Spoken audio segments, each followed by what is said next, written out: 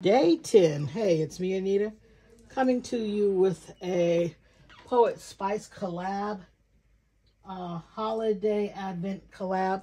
And in this collab, we are supposed to show something that we had made for the holidays every day. And this is what I did today. I have used Anna Griffin's card making card kit. Celebrate Christmas celebration card kit. And this is the card. Oops. The card that I made. All right. For those who have not subscribed to me, I wish for you to. And for those who have, thank you. And remember, below there's a list of participants please check the button so you can see what they have done too. You guys have a blessed day.